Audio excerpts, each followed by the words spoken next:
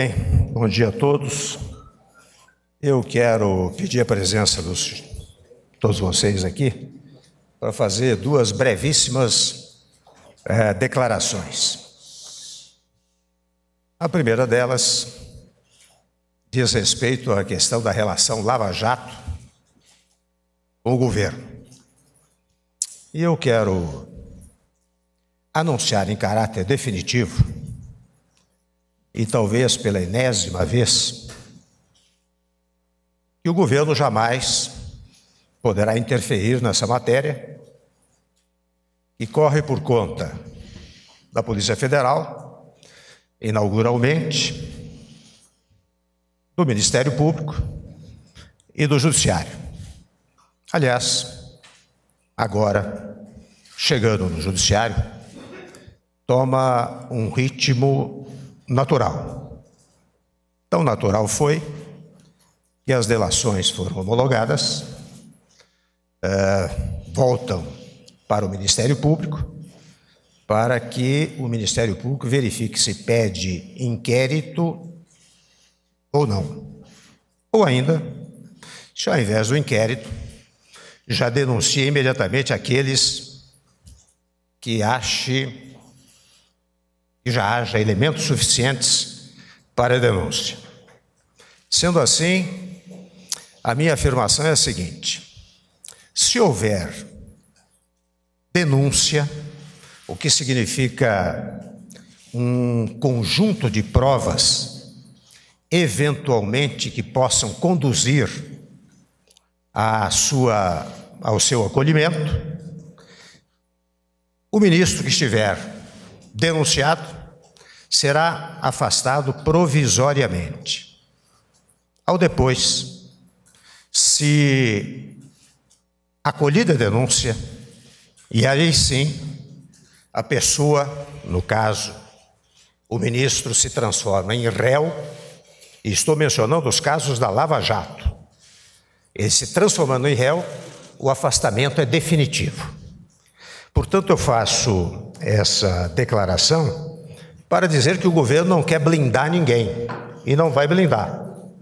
Apenas não pode aceitar que a simples menção inauguradora de um inquérito para depois inaugurar uma denúncia, para depois inaugurar um processo, já seja de molde a incriminá-lo em definitivo e, em consequência, é, afastar o eventual ministro. Então, volto a dizer a vocês, é, faço questão de enfatizar em letras maiúsculas, não há nenhuma tentativa de blindagem. A questão é muito séria e retorno. Se alguém converter-se em réu, estará afastado, independentemente do julgamento final.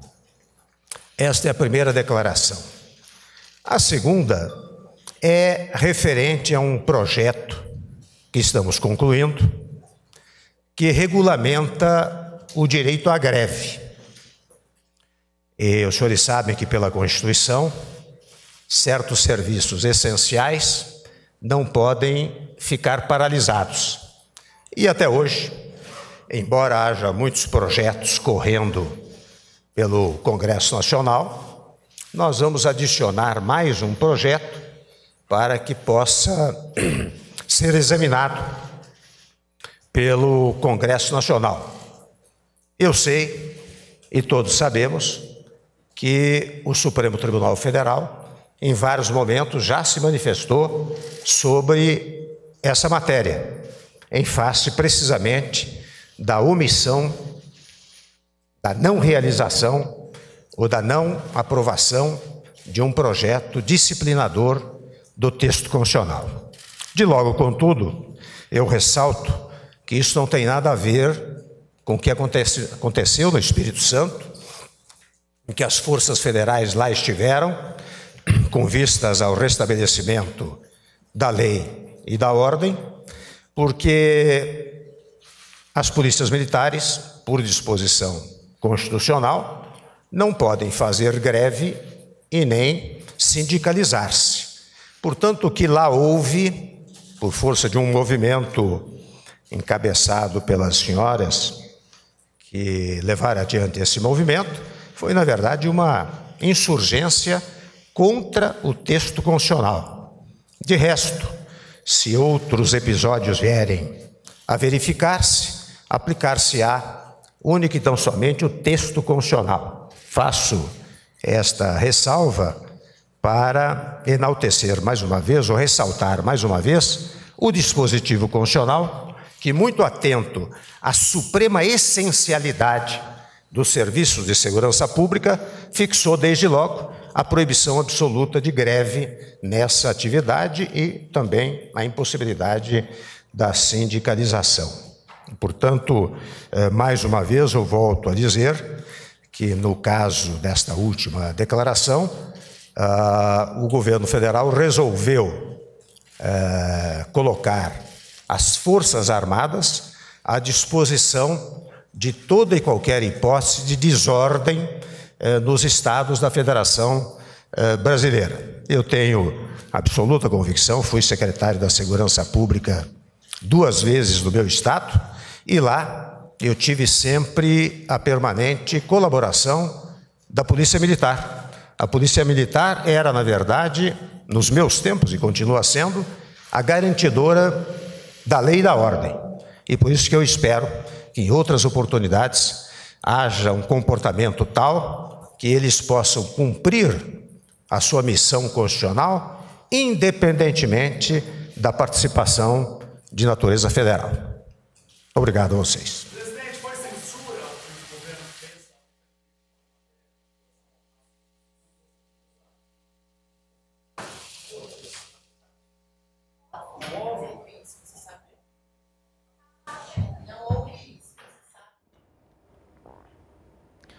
Tá aí, nós acompanhamos a fala do presidente Michel Temer ao vivo, direto do Palácio do Planalto.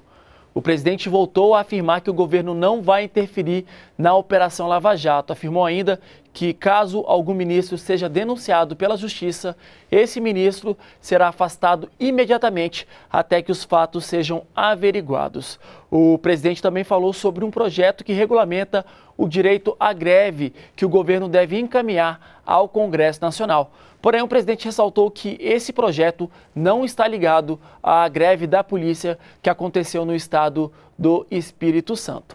Nossas equipes de jornalismo vão continuar acompanhando esse assunto e durante a nossa programação nós voltamos com mais informações. Continue com a gente aqui na TV NBR, a TV do Governo Federal.